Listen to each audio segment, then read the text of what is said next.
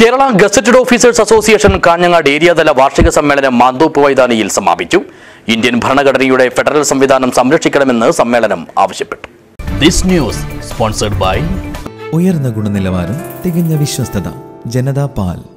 Indian ഭരണഘടന വിഭാവനം ചെയ്യുന്ന ഫെഡറൽ സംവിധാനം സംരക്ഷിക്കണമെന്നും കേരളത്തിന് അർഹതപ്പെട്ട സാമ്പത്തിക വിഹിതം അനുവദിക്കണമെന്നും Kerala gazetted officers association Kanhangad area സമ്മേളനം ആവശ്യപ്പെട്ടു.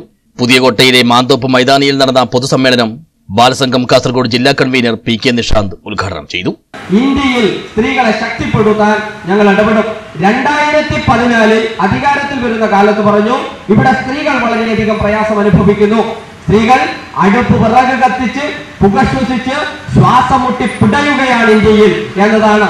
മതിയായ ഭക്ഷണമില്ലാതെ കുടുംബത്തെ പരിപാലിക്കാൻ കഴിയാതെ മതിയായ സുരക്ഷ ലഭിക്കാതെ രാത്രി രാത്രിയും പകലും വ്യത്യാസമില്ലാതെ തെരുവുകളിൽ കൂടി ഇറങ്ങി നടക്കാൻ കഴിയാത്ത വിധം വലിയ പ്രയാസം അനുഭവിക്കുന്നവരാണ് ഇന്ത്യയിലെ സ്ത്രീകൾ.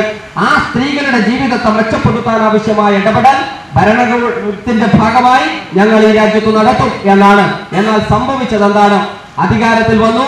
പുകയടുപ്പിൽ നിന്നും പുക ശ്വസിക്കുന്ന സ്ത്രീകൾക്ക് ഞങ്ങൾ സബ്സിഡി നിരക്കിൽ ഗ്യാസ് നൽകും എന്ന് പ്രഖ്യാപിച്ചിരുന്നു. സബ്സിഡി നിരക്കിൽ ആദ്യം വന്ന പാടെ ഗ്യാസ് നൽകി. ഇന്നത്തെ അവസ്ഥ എന്താ?